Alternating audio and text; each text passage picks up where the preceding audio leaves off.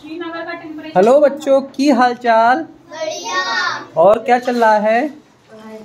अच्छा आप लोगों का रिज़ल्ट आ गया सबका? मंडे आज पहले दिन पहली पहला दिन था आपके स्कूल में कैसा रहा? अच्छा। अच्छा रहा? क्या पढ़ा आपने? स्कूल में पढ़ाई हुई आज? क्या पढ़ाया गया? सर ने जो है आज जो है हिंदी वाले सर ने हमें जो है ना वो पंद्रह अगस्त के बारे में बताया था और स्वतंत्रता दिवस के बारे में लिखवाया था। अच्छा अच्छा। आपका नाम क्या है? रिहान। आपके कितने परसेंट नंबर आए? चार सौ चालीस।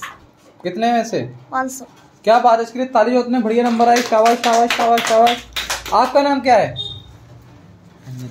आपके कितने नंबर आए?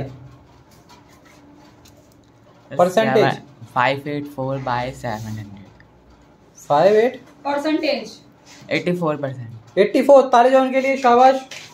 आपका नाम क्या है? आपके कितने परसेंट आए? Eighty percent. ताले जाओ इतने बढ़िया बढ़िया है तो सब लोग अच्छे से नंबर लाते हैं स्मार्ट सिटी सेंटर में। क्या बात है क्या बात है? आपके कितने परसेंट आए? Eighty six. परसेंट। इनके लिए ताले जाओ बहुत बढ़िया बहुत बढ़िया बहुत बढ़िया। है ना? जिसके सबसे ज़्यादा परसेंटेज आएँगे वो पार्टी देगा है ना? तेरे? Eight eighty eight. ओ भाई इसका भी इतने ताले जाओ। और आपके कितने आए?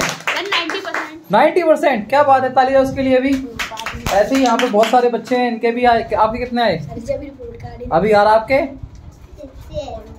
वेरी गुड आपके? मेरे नंबर नहीं आया मैं तो पास पास हो गए आप। और आपके? Eighty nine percent. Eighty nine percent. ओ भाई इनके लिए ताली जाओ बहुत बढ़िया बहुत बढ़िया बहुत बढ़िया बहुत बढ़िया। है ना? तो ये आपके इतने ज़्यादा नंबर क्यों है? इसके पीछे कारण क्या है? आप बताएँगे। सर स्टडी स्टडी कारण है। वेरी गुड आपके पीछे? सर शिक्ष वो पढ़ाई करते वो डंडा? नहीं क्या पढ़ाई वो जो हम पढ़ाई करते हैं मैम हमको पेपर देती है हम उसमें शिक्षा वो जो पढ़ाई करते हैं वो हम उसमें लिख देते हैं अच्छा ये कारण है आपके इत- इतने अच्छे नंबर के लाने के पीछे कारण क्या है सर अच्छे से पढ़ते हैं अच्छे से पढ़ते हैं और आप और आप अच्छा इसलिए और आपके अच्छा। हाँ इससे अच्छे नंबर लाने के पीछे कारण? स्टडी और आपके? स्टडी आपके? स्टडी और आपके? मेहनत। मेहनत। और आपके?